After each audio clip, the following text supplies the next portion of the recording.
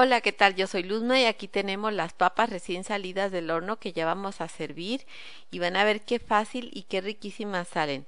Estos son los ingredientes.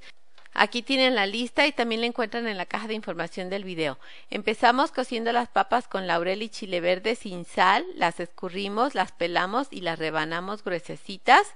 Enseguida vamos a trocear un poco el jamón, que es en rebanadas. Luego rayamos el queso. Este es queso de adobera de Atemajac de Brizuela, pero puede ser mozzarella o chihuahua. Luego en la licuadora ponemos el jitomate, la crema, la pimienta negra, el queso doble crema, el puré de tomate y vamos a empezar a licuar y añadir puré de tomate. Probamos de sal, si hace falta lo añadimos. Enseguida engrasamos un molde con bastante mantequilla y vamos a ir acomodando una cama de papa, otra de jamón. Enseguida le vamos a poner queso, un poquito de salsa y así nos vamos a ir sucesivamente poniendo camas de en el mismo orden hasta terminar con una cama de queso. Hay que guardar la, la cantidad más grande de queso para el final.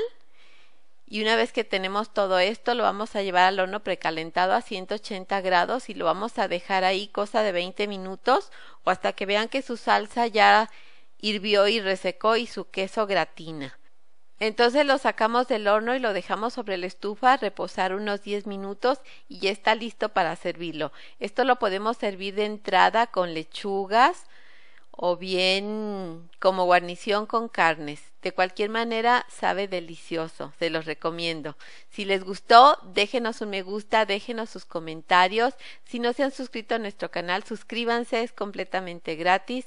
Visítenos en Facebook, en Twitter y sigan acompañándonos. Gracias, bye.